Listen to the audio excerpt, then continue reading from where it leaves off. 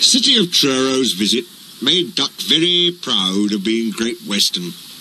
He talked endlessly about it, but he worked hard too, and made everything go like clockwork. The trucks behaved well, the coaches were ready on time, and the passengers even stopped grumbling. But the engines didn't like having to bustle about. There are two ways of doing things, Duck told them. The Great Western Way or the wrong way. I'm Great Western, and don't we know it? They groaned. They were glad when a visitor came. The visitor purred smoothly towards them. The fat controller climbed down. Here is Diesel, he said. I have agreed to give him a trial. He needs to learn. Please teach him duck. Good morning, purred Diesel in an oily voice. Pleased to meet you, Duck. Is that James? And Henry? And Gordon, too. I am delighted to meet such famous engines. And he purred towards them. The silly engines were flattered. He has very good manners, they murmured. Oh, we are, we are pleased to have him in our yard. Duck had his doubts.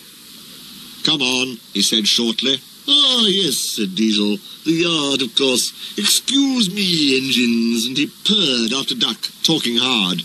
Your worthy fat Sir Topham Hatt to you, ordered Duck. Diesel looked hurt. Your worthy Sir Topham Hatt thinks I need to learn. He is mistaken. We Diesels don't need to learn. We know everything. We come to a yard and improve it. We are revolutionary. Oh, said Duck. If you're Revo Thingamy, perhaps you could collect my trucks while I fetch Gordon's coaches. Diesel, delighted to show off, purred away.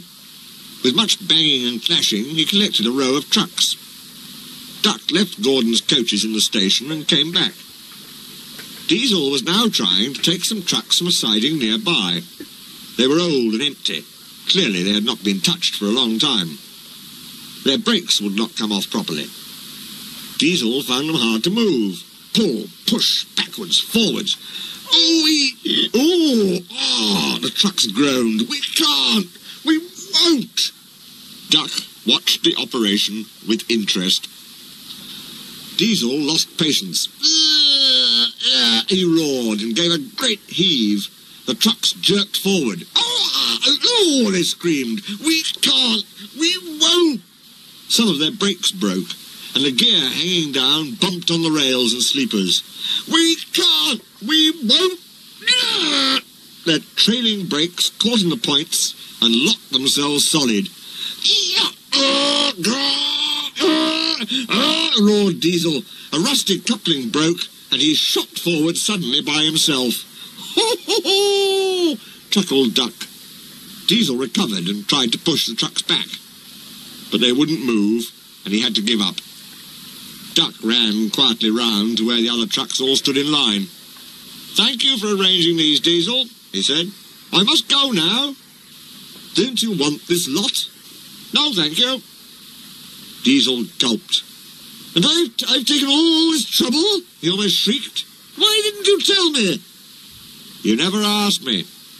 Besides, said Duck innocently, you were having such fun being or whatever it was you said. Goodbye. Diesel had to help the workmen clear the mess. He hated it. All the trucks and coaches were laughing. Presently he heard them singing. Their song grew louder and louder, and soon it echoed through the yard. Trucks are waiting in the yard, tackling them with easel. Show the world what I can do. Gaily boasts the diesel.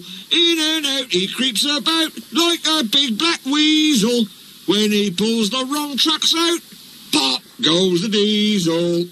Ah! He growled and scuttling away, sulked in the shed.